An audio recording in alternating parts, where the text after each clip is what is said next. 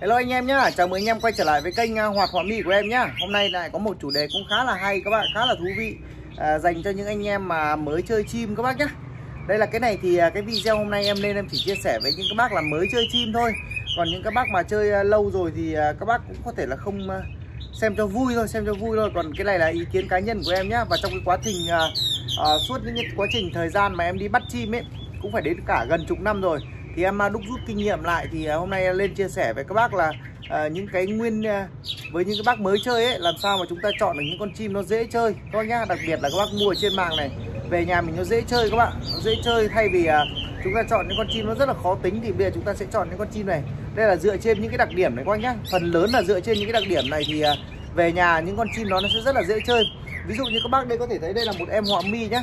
Em họa mi này là một em họa mi thuần một em họ mi thuần thì nó hot rất là tốt luôn các bạn hot rất là tốt luôn và chúng ta để ở chỗ à, gọi là chỗ này rất là quang, vắng các bác nhá mà nó vẫn dám hot, thậm chí là không cần điểm tự, điểm trước thì con chim để không trên một cái mặt bàn này nó vẫn dám hot thì cũng như kiểu là anh em mình đây là cái bàn uống nước các bác tưởng tượng đây là cái bàn uống nước các bác về các bác để nó vẫn hót à, ờ, còn những con chim mục dở thì chúng ta sẽ không thể nào chúng ta làm là có thể là làm được cái việc này. Bởi vì nếu mà làm được cái việc này thì thứ nhất là chúng ta cần có công chịu ờ, chúng ta cũng có thể là đặt gần mái và chúng ta có thể là luyện hót lâu dài rồi nó quen dần với chủ rồi.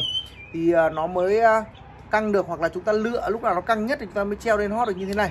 Còn đây là em họ mỹ thuần thì cứ treo ra là nó sẽ hót như thế này các bạn thì cái chủ đề hôm nay sẽ chọn chim như nào? Thì đa số là những mới anh em mới chơi ấy, thì là uh, các anh em thì nó thật sự là nhiều anh em mới chơi ấy, thì cái việc đầu tiên của anh em là anh em chỉ cần là một con chim họ mi hót nhiều thôi. Và chúng ta cũng không cần đến cái bộ dạng của nó quá nhiều đúng không các bác? Thật sự là bây giờ anh em mình cũng như con chim họ mi nó cũng như con người thôi. Mình cần chọn một con chim họ nghĩa là làm sao mà mặt mũi nó sáng sủa các bác nhá. Lông lá nó đẹp lông lá nó đẹp và cái à, à dáng dấp nó ok. Thì cái này thì là dành cho những các bác à, chơi rất là nhiều rồi khi các bác nhìn con chim các bác đoán nhận ra. Bởi vì cái này là kinh nghiệm của kinh nghiệm của em thôi. Từ ngày xưa lúc bắt đầu mới đi chơi chim em chỉ cần làm sao kiếm một con chim nó hot nhiều thôi. Cũng không cần thiết là con chim nó phải là đẹp đẽ như này như kia. Chỉ cần về nhà mình treo là hot là là đã là vui đã là hạnh phúc lắm rồi các bạn. Đấy à, thì ở đây nhá ở đây có những ý kiến cá nhân như em này. Khi mà các bác mua chim ở trên mạng ấy thì à, các bác hãy ưu tiên là những con chim thuần. Những con chim thuần là những con chim mà ở nhà anh em à, ở nhà các anh em ấy có thể là sách lồng nó vẫn hot sách lồng vẫn hot hoặc là đặt bàn nó vẫn hot đấy. Còn những con chim thuần nhá. Thì uh, những con chim đấy vì sao lại uh, lại lại bảo các bác là mua những con chim thuần? Bởi vì những con chim thuần là uh, trong cái quá trình mà được nuôi dưỡng là nó quen với với, với quá trình thuần hóa rồi. Nó không nó không nó không còn lạ lắm uh, cái lồng hay nó còn không không còn lạ lắm uh, con người quá. Đấy thì uh, vì uh, là những uh, những con chim đó ấy, nó rất là dễ chơi. Về nhà anh em có thể là anh em có thể là không biết sách hay là không biết là cách treo thì ít nhất thì nó cũng không còn trổ mặt hay đâm mặt nữa. Thì cái vấn đề đấy nó sẽ giảm được cái nỗi sợ gần nào. Thay vì anh em chọn những con chim mộc những con chim mộc về các bác không biết chơi các bác chỉ cần à, khái à, các bác chỉ cần sách lồng à, khác kiểu một cái thôi là con chim nó đã nó đã không hót rồi. Hoặc là nó đã nhảy đâm mặt hay nó nhảy loạn xì ngậu lên rồi các bạn đấy thì anh em hãy lưu ý là chọn những con chim thuần.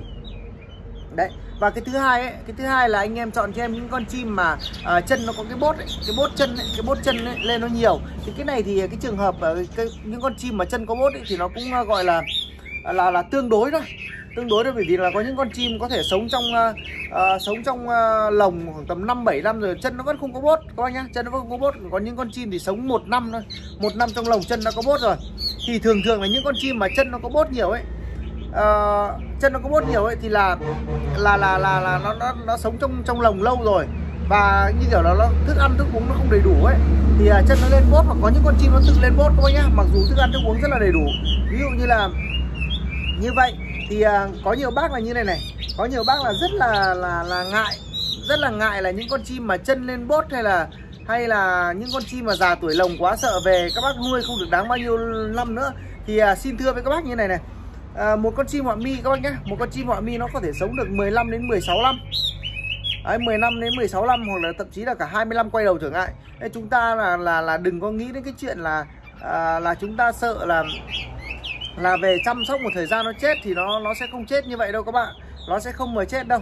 Như vậy đâu bởi vì là đây là em đưa đây các bác là cái tiêu chí là tiêu chí để anh em chọn chim hót ở nhà tiêu chí là anh em chọn chim hót ở nhà các bác nhá.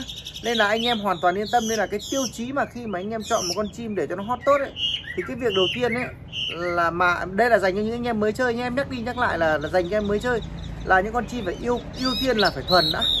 Phải thuần phải thuần. Về nhà các bác uh, bởi vì sao? Bởi vì là có những trường hợp là ví dụ như các bác chọn con mộc về nhà các bác các bác không biết nuôi nó mà mất lửa nhá. Nó mất lửa nó có thể nó đâm toắc toác đầu luôn toác đầu và nó chỉ chỉ việc nhảy thôi. Nó cứ nhảy thôi nếu có không biết xử lý. Nhưng mà con con à, con mộc thì sao? Con mộc thì nó vẫn cứ giữ được cái trạng thái của nó là à, à con con con thuần thì sao? Con thuần thì nó vẫn cứ giữ được cái trạng thái là nó không bị sợ sệt các bạn. Không bị sợ sệt lên là anh em chú ý giúp em.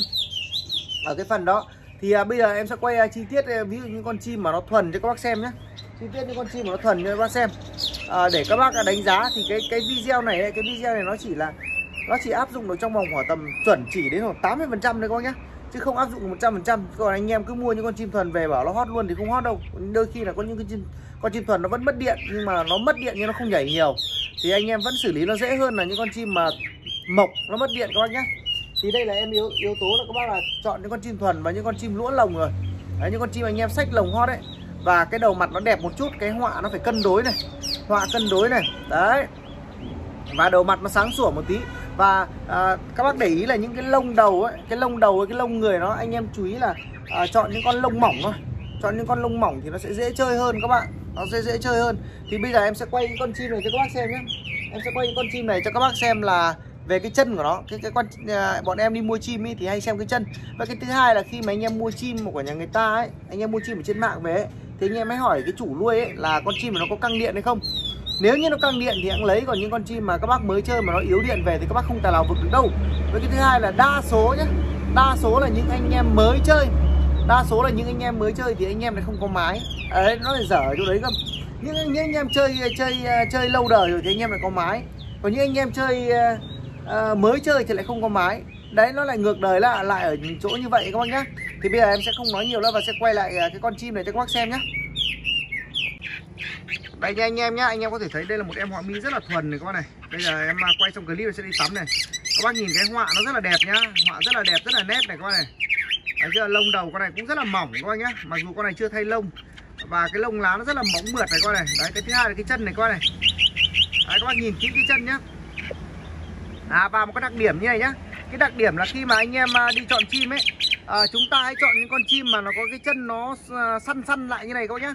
Săn săn này ờ, và cái ống đồng nó tóp tóp này như này này. Đấy, top top lại như này nó giống như kiểu là người già ấy các bác ạ. Đấy, thì những con chim này nó có tính ổn định cao hơn các bác nhá. Đấy, cái chân này các bác thấy này. À, Anh em đừng chọn Anh em đừng chọn ví dụ như anh em đừng chọn những con chim mà cái cái cái cái chân của nó như cái cái, cái ống đồng của nó ấy. cái ống đồng của nó tròn ngủng ngủng ngủng ngủng nhá các bác nhá. Tròn ngủng ngủng này là là những con chim đấy thì cá nhân em nghĩ là nó không ăn thua còn các bác cứ để ý kỹ này, kỹ con chim như này này. Đấy, cái chân nó tóp lại, cái chân nó tóp lại nhiều, cái xương nó tóp lại các bạn những con chim như này các bác nhá nó chỉ rơi vào tầm 2 đến 3 năm lồng thôi. Nó không được ờ, được được quá nhiều tuổi lồng như như nhiều bác nghĩ đâu. Đấy, thì các bác để ý đây là một con chim ờ, mà nó đang hót đây, không cần mái mủng gì, nó vẫn hót bình thường nhá. Bởi vì là sao? Bởi vì nó đã có tuổi lồng rồi. Và đầu mặt nó cũng khá là sáng sủa các bác nhé con chim này đầu mặt rất là đẹp này, mỏ rất là đẹp này. Đấy mắt xanh này. Còn à, có nhiều anh em mà quan niệm một cái màu mắt vàng với cái màu mắt xanh thì cái đấy thì em nghĩ là không phải các bác nhé em thì chủ yếu là em đi mua chim thì em chủ yếu là em chọn ở cái chân. Cái chân và cái độ thuần của nó các bác nhá. Bởi vì sao? Bởi vì là cái cái chân này thường thường nó tương đối với cái độ thuần các bạn. Nó tương đối với cái độ thuần của con chim. Khi mà con chim mà cái chân nó càng à, nó càng top và cái cái à, cái cái chân nó càng top và nó càng có vảy ấy thì thì những con chim như này ấy nó lại càng à, càng có tuổi lồng cao các bác nhé càng có tuổi lồng cao. Đấy là cái điều mà em đi mua chim trong bao nhiêu năm đây thì em à, nhận ra nó là như vậy. Thì à, trên đây là cái video em chia sẻ với các bác có thể nó đúng và cũng có thể là nó không đúng. Thì à, mong các bác là xem và các bác hy vọng là sẽ giúp ích được phần nào. Chứ còn nói thật sự với các bác là ừ, bây giờ mà mà chỉ cho các bác về xem các bác xem đầu mặt ấy thì nó rất là khó các bác nhé nó rất là khó luôn bởi vì là khi mà mình nhìn cái đầu mặt nó thì là những anh em mới chơi thì anh em không thể không thể phát hiện được ra. Thì ở đây em chỉ em chỉ có thể nói những cái điều nó dễ nhất cho anh em thôi. Còn những anh em nào mà chơi lâu rồi thì mời anh em xem cho vui thôi các bạn. Thì ở đây là cái video em à, chia sẻ nó chỉ đến đây thôi. À, xin phép là dừng lại clip ở đây nhé hy vọng là cái video sẽ giúp ích cho anh em phần nào. Hẹn gặp lại các bác vào những cái video sau. Chúc các bác xem video vui vẻ và chúc các bác à, áp dụng thành công nhé bye bye tất cả các bác. Tạm biệt các bác nhá.